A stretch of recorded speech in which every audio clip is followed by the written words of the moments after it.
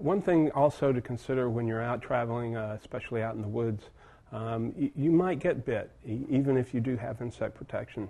Um, you also may encounter a scorpion, um, a wasp, or a bee sting, a hornet sting, or a snake bite, uh, worst case scenario.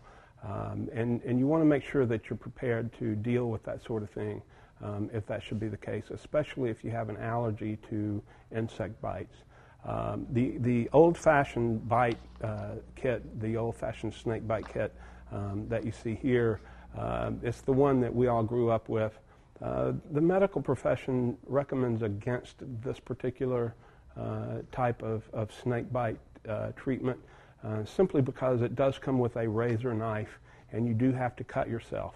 Um, and you run the risk of infection um, if you cut yourself. Plus, this suction cup here uh, does not really pull all of the venom or enough of the venom out to prevent you from getting uh, seriously ill. Uh, the kit that we recommend um, is uh, the Sawyer um, extractor. Um, this is a kit that's carried by the U.S. military. Um, it does uh, remove up to 30 to 40 percent of the venom directly from the, the, um, the bite itself. Um, you do not have to cut yourself, um, and it comes with several different cups, um, which will allow you to uh, reverse the venom, uh, enough of it to get you to the hospital.